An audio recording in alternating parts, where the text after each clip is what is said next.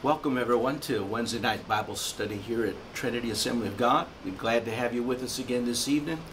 And uh, we're with you online and at the same time in person here at the church. And so, uh, one way or the other, we're delighted to be able to share with you from the Word of God and from this book that has really uh, ministered to our heart up to this point, titled The Indwelling Life of Christ, All of Him in All of Me. And I really believe that it teaches the essence of Christianity, what Christianity is all about. So uh, we'll tell you how you can get a copy of that book, free and postage paid. Uh, we're looking at the sixth chapter tonight. This is our fifth study.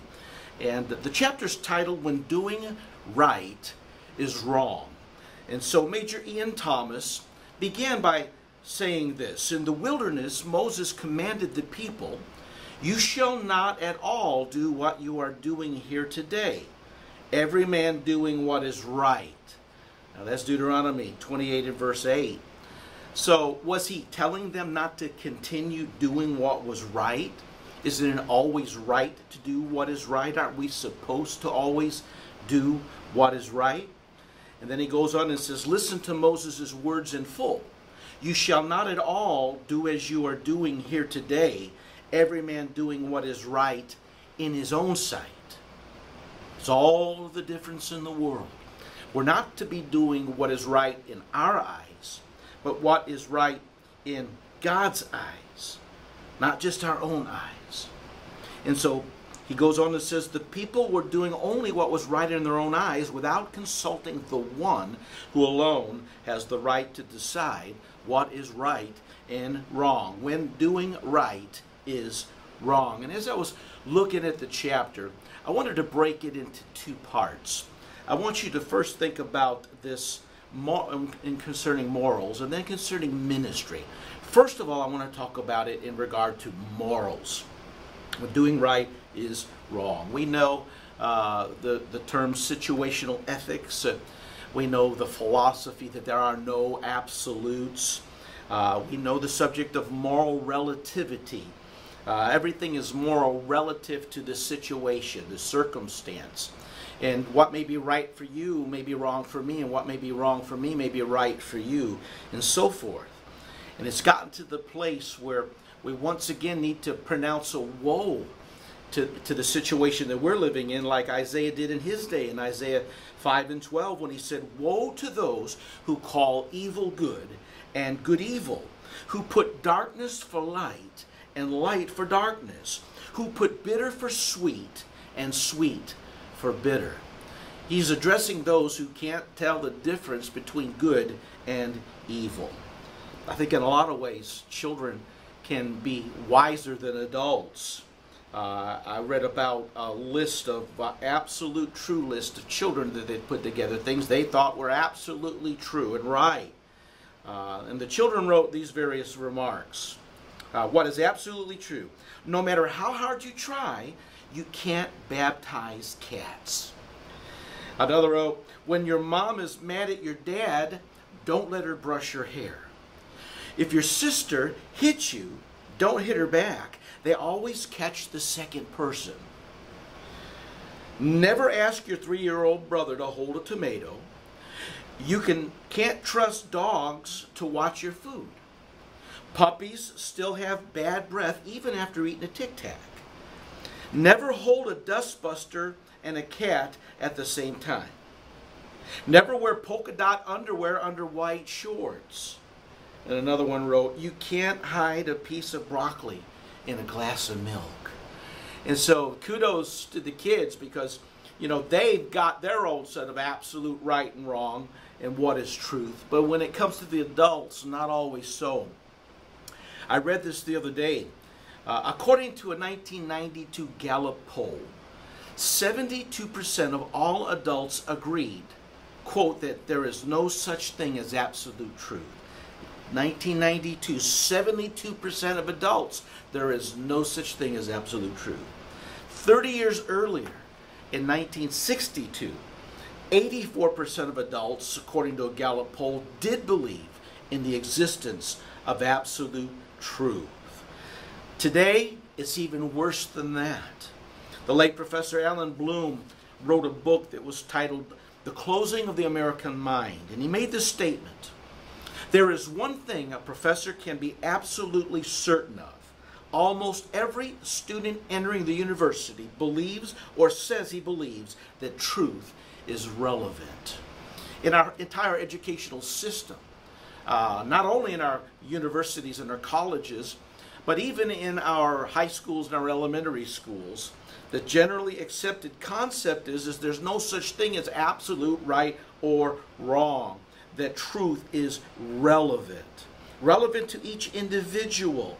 And so the educators are taking advantage of this to shape the mind of a culture.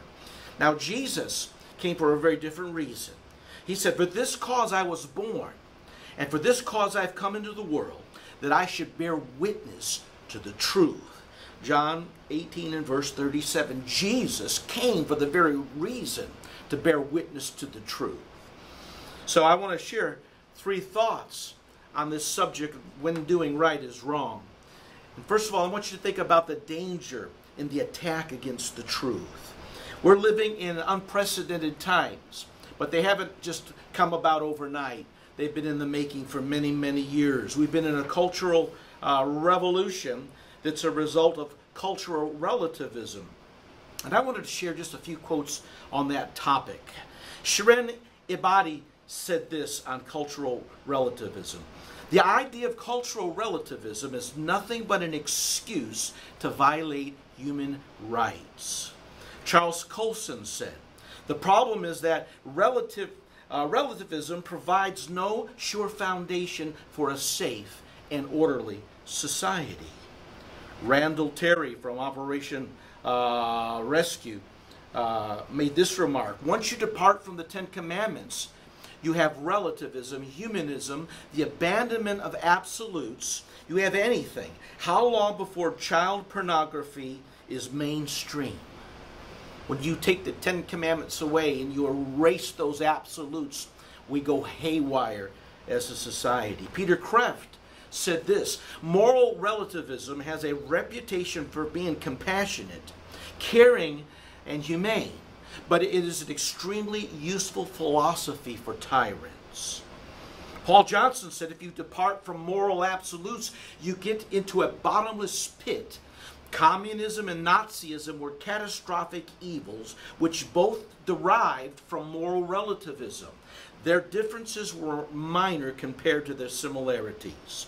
And then Martin Luther King Jr. said this You cannot solve the problem by turning to communism, for communism is based on an ethical relativism and a metaphysical materialism that no Christian can accept. With all the talk of socialism and Marxism and elements of communism being brought into the political fray in America. We're living in some very perilous times indeed. Uh, again, Colson called this the cultural crisis of our time. John MacArthur said it's a frontal assault on the very person and character of God. And finally, Josh McDowell says it's the last step on the road to anarchy. And that's what we're seeing happening in our world today because we've gotten to the place where people are calling good evil and evil good. And when doing right is wrong, and that is when we're doing right in our own eyes. Uh, R.C. Sproul said this if everyone, if everything rather is relative, including ethics and values, then we're in deep weeds. The kind of deep weeds one finds in a jungle and it's becoming a jungle out in our world today. We're living in a day where principled convictions have been replaced by political correctness. And uh, the pressure is being put upon us today like never before. Our entire nation, America, has uh, undergone a, a moral lobotomy. Our whole way of thinking is being changed, even reasoning as to the simple things as to what is right and wrong.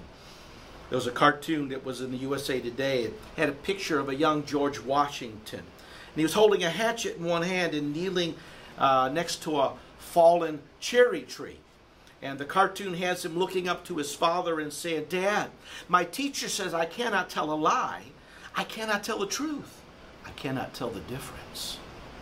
And then we have a, a world today in which we're teaching and brainwashing our kids into thinking you can't tell the difference between right and wrong. Because right could be right for one person and wrong for another. The big word today is tolerance. We have to be tolerant of other people's definitions of right and wrong. Tolerism. Tolerism means what's true for you may not be true for me, and vice versa. But have you ever thought there is no room for tolerance in the other areas of life? For instance, in the chemical laboratory, there is no room for tolerance. You allow tolerance in a chemical laboratory, and you'll have an explosion. If you make room for tolerance in music, you don't have melody and harmony, you have dissonance. You've got sour notes. There's no room for tolerance in music or mathematics. In mathematics, it's either exactly right or it's completely wrong. There is no middle ground when you use an equation and come out with uh, a fact. No room for tolerance in biology. You know, one contradiction, one result that contradicts the other results, uh, uh, what it does is it uh, does away with a thousand experiments. It invalidates the experiment uh, when it goes wrong one, one time. It just nullifies it. There's no room for tolerance in the athletic field. You know, athletics are uh, based on rules and no favorites. If you uh, forget the rules or you play favorites, what's the point of even being out there?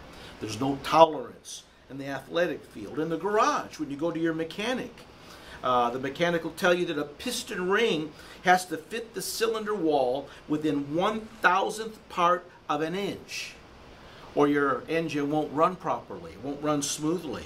So there's no room for tolerance in a garage. There's no room for tolerance in any of these areas. Yet we're told there's room for tolerance in morality, in righteousness, and holiness, and common decency in our country. And that we ought to be tolerant in these areas. The word that we need is not tolerance. The word that we need is truth. We need truth to no longer be fallen in the streets when it comes to morals and ethics. Uh, we understand that it's an attack, and it's a dangerous attack on truth. When there's an attack on truth, right and wrong, friends, it's an attack on God because it says there's no absolutes. And to say there's no absolutes is to say there is no God, there's no sovereign, because God is the ultimate absolute. He really is the only absolute. In God, there is no error. In God, there is no imperfection. In God, there's no flaw. There is no limit. God is the standard of absolute. So, there's no God. There's no scripture. For deny truth, to deny truth is to deny the word of God. Because Jesus said concerning the word of God, he spoke to the Father and said, Your word is truth. John 17, 17. So to uh, deny truth is to deny to deny a sovereign, to deny the scriptures, even to deny the Son himself. Because if you deny the truth, you deny Jesus Christ. He said, I am the way, the truth, and the life. No one comes unto the Father uh, but through me. So the effort really is to deny God, deny the Bible, to deny the Word of God, to deny the Son of God, because these are absolute truths. And why is this so dangerous? Because when you take away the God of the Word, and you take away the Word of God, you take away the only objective basis that we have for morality, purity, and holiness. It, it's the standard that has been removed, and everything else is cast to the wind. Because without God, the Bible, right and wrong, becomes just simply a matter of a person's personal opinion. There were a couple of men that gotten a heated argument with one another and they couldn't resolve it. And so they decided that they would each visit a wise man that lived in the community and uh, see his thoughts on it to see if he could help them uh, resolve the dispute. So uh, the next day, one man went to him and uh, gave his side, and uh, the wise man said, You are absolutely right. And with a smug, satisfied look, the man left. Well, the next day, the other man came to give his side. And the reply from the wise man is, You are absolutely right. With a smug, satisfied look, he also uh, went away, got up and left. The wise man's wife had overheard the, both of these conversations, and she came into the room and confronted her husband. She said, Listen, One man came into this room with one story, another man came into this room with another story, and you told both of them that they were right. Now, both men cannot be right. The husband looked at his wife and said, You are absolutely right. And uh, when everyone's absolutely right and they're going a hundred different directions, how could you tell right from wrong? Always remember a principle. This is one we should never forget. Our behavior determines, uh, are, are determined rather by our belief. What we believe will determine our behavior.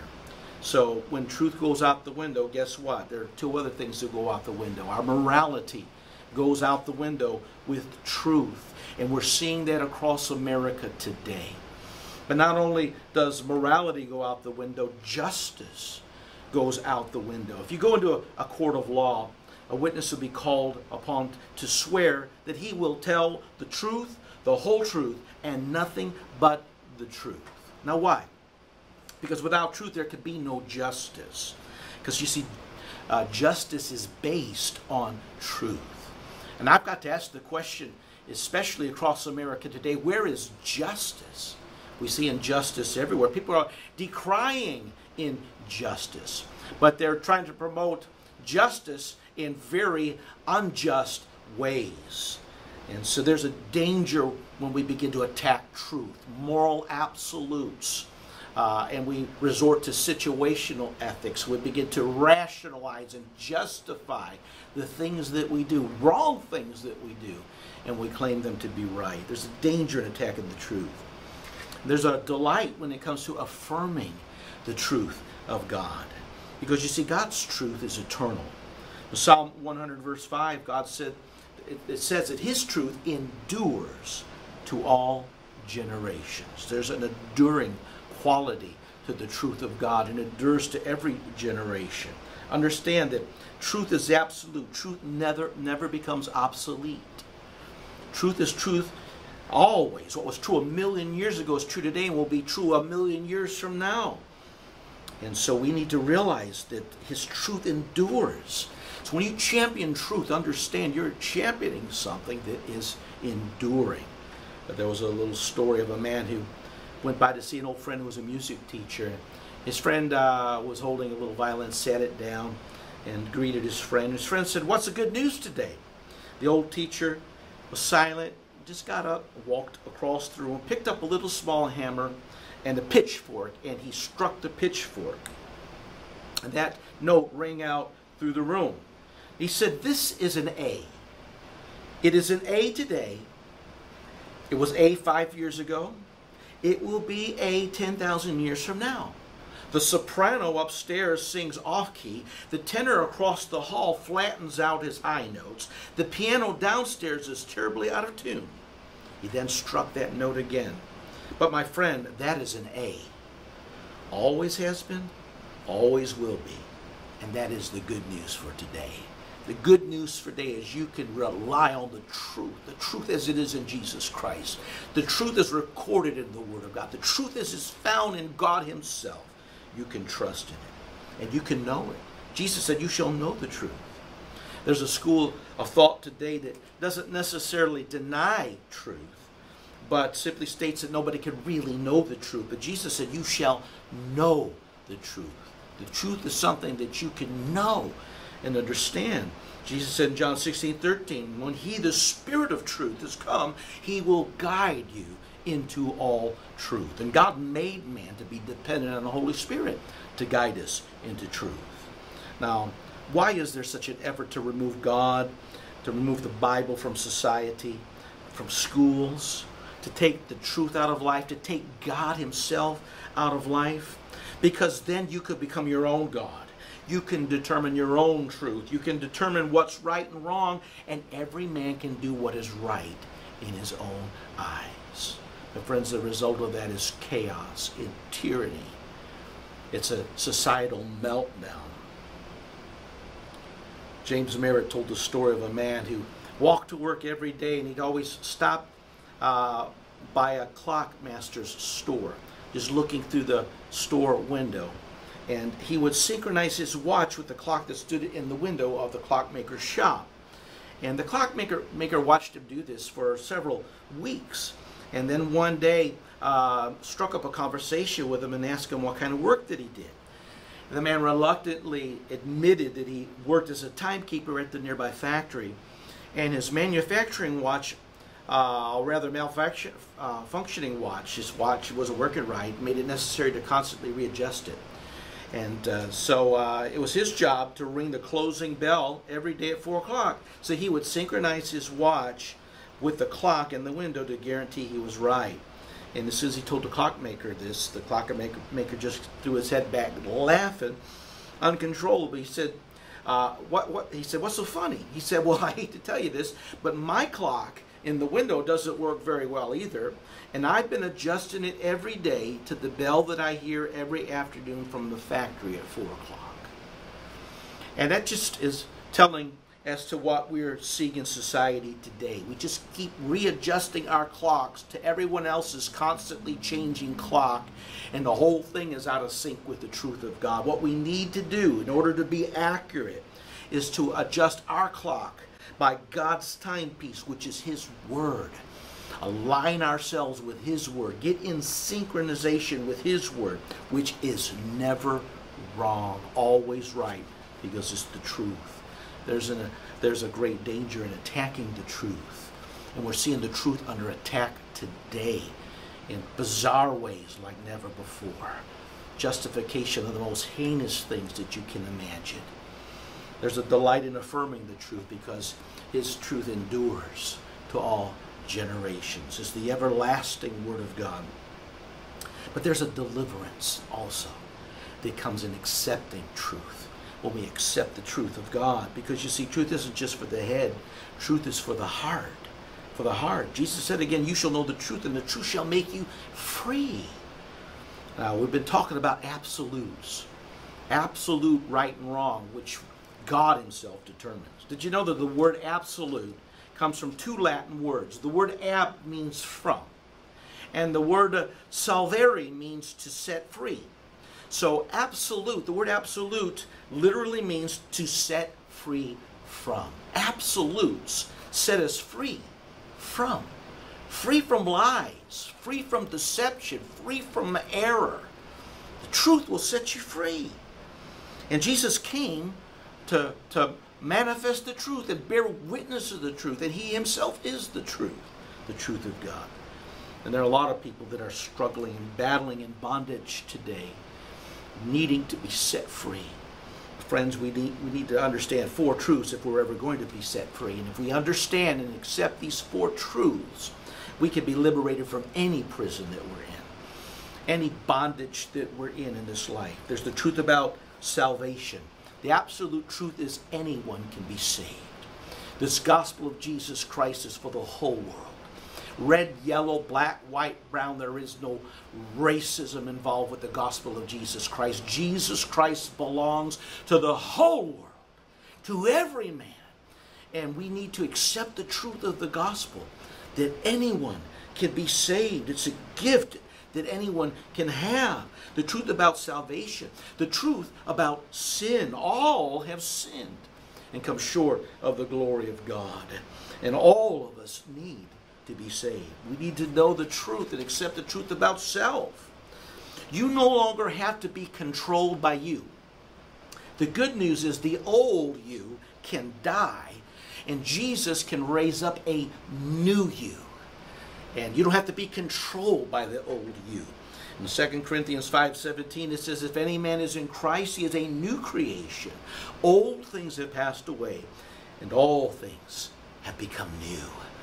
So we need to know the truth, the truth, the truth about salvation, about sin, about our own selves. We're not to rely on ourselves. We're to let Jesus come and live his life through us and make us new. We need to know not only the truth about ourselves, but the truth about Satan. Satan no longer can have dominion over you. The Bible says, Greater is he who is in you than he who is in the world. 1 John chapter 4, verse 14 we understand that these four truths are essential for us being broken free from the prison of bondage. People are crying out for freedom. People are crying out for liberty, crying out for justice is to be found in Jesus Christ. Paul Harvey told a story many years ago, the famed radio commentator. And uh, in it, he told about an experiment involving a chimpanzee, in, in which the scientists were determined to teach it to write and to communicate on paper. And for 14 years, they had worked with the chimpanzee. These scientists labored diligently, patiently with the chimpanzee, providing things in its cage to enable it to form certain syllables. 14 years they've been trying to get it where it can write a sentence on paper. And finally, the day arrived, it seemed the chimpanzee was actually going to construct a sentence from syllables that it had been learning. And so word got out, and scientists from all over the world traveled and uh, gathered in uh, to, to see this, to watch this, and they watched breathlessly as symbols were formed into words and written into a sentence. At last, Harvey went on and said, the first message from the world's most pampered, most cared for, most uh, patently, uh, patiently rather trained chimpanzees in history was about to come forth. So they could hardly contain themselves, the scientists, as they pressed around the cage to read the history-making sentence. What had the chimpanzee written? These words, let me out. Let me out of the cage. Friends, people are in a cage of their own making. We're trying to break free with the exact, exact opposite of what we need. We need truth. Jesus said, You'll know the truth, and the truth will make you free. If you'll accept Jesus Christ as your Lord and Savior, He will take the key of salvation. He will unlock the shackles of sin, self, and Satan, and then He will set you free. And the Bible says, He whom the Son sets free is free indeed. Now, our chapter, I said, uh, speaks to me two things about morals in general. And when uh, doing good is wrong. Uh, but it also speaks of ministry. Let me read the verse again that Major uses here. Deuteronomy 12 and 8, and then I'll, I'll add verse 9. Verse 8 says again, You shall not at all do as you are doing here today, every man doing what is right in his own eyes Verse 9 continues For as yet you have not come to rest, the rest and the inheritance which the Lord your God is giving you. And so here, I think the focus is not just on uh, basic morality and basic right and wrong, but it's in what you do, doing righteousness. I think it involves ministry. I think it involves serving the Lord. And there are many people that try to serve the Lord out of their own mind or out of their own ingenuity or because of pressures they put upon themselves or pressures that other people put upon them regarding ministry. And the reason that they were everybody just running and frazzled and uh, worn down and had not found their rest is because they hadn't entered into their rest. They hadn't entered into their inheritance. And you know, you could burn out in ministry. You can burn out running from pillar to post. You could, in a church, grind down. You could be as busy as a proverbial beehive and everybody just exhausted because we're doing things that are right in our own eyes rather than letting the Holy Spirit lead us, letting the Holy Spirit guide us, letting the Holy Spirit direct us in ministry. Not just doing what's right in our own eyes, but entering into that rest, entering into that inheritance. What's that rest and inheritance? That's just learning to rest in Jesus Christ and allowing the Holy Spirit now to direct us and to guide us. Uh, he ended the, the chapter, Major did, with 2 Corinthians 3 and 5 from the Amplified. Not that we are uh, sufficiently qualified in ourselves to claim anything is coming from us, but our sufficiency and qualifications come from God. Paul was saying that we don't minister out of our own sufficiency. We don't minister out of our own qualifications. We don't serve God out of uh, our own abilities. Nothing qualifies us. And we can claim nothing that qualifies us. Our sufficiency in ministry comes from the Lord, the Lord Himself. As Paul said, by the grace of God, I am what I am. Paul made the statement uh, concerning the apostles. He said, I labored more abundantly than they all, yet not I, but Christ, or the, rather the grace of God, that was with me. That was Jesus in him. God's grace was doing the work. God's grace made Paul into the apostle of the second mile. God's grace and his presence and his spirit, the very life of Jesus, is what made him sufficient for ministry because, after all, it was Jesus doing the ministry through him. And he understood that. He was drawing from the source. We could become so engaged in ministry and so involved, wear so many hats that we're really not effective in anything. And uh, we could be shamed and coerced into it many times in church. There are what are called toxic churches that constantly put guilt trips on people for not doing 101 different things. We need to teach people how to hear the voice of God, to be led by the Holy Spirit, and then each one will be fit into their ministry, and the whole thing will work the way God intended. John Wesley was 35 years old when he was saved. He lived for the Lord 53 years. He died at 88. For 53 years, John Wesley preached the gospel. Often five times a day he would preach. Traveled over 250,000 miles on horseback. Uh, John Wesley built orphanages. He built churches. He and his brother compiled hymnals. Uh, he wrote over 200 uh, volumes and on and on and on. He worked and labored, but he learned the secret of ministering in the power of the Holy Spirit. Ministering under the direction of the Holy Spirit. Not pressured, not coerced, not forced, but being led by the Spirit. And so he was able to enter into that rest and enter into that inheritance. And so a labor didn't become a drudgery. It's possible to be tired in the work or in the labor. But when you're ministering this in the Spirit, you'll never get tired of the labor or of the work because that's where your heart is. Because God's the one who's put it in your heart. Because it's God in your heart Himself putting it there. So, in regard to morals, uh, it's wrong to do right when we're simply doing right in our own eyes. We need to do what's right in God's eyes, in His Word.